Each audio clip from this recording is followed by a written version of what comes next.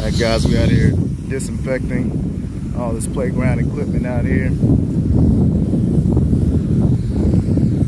Using about 250 degrees of heat. Getting everything nice and clean.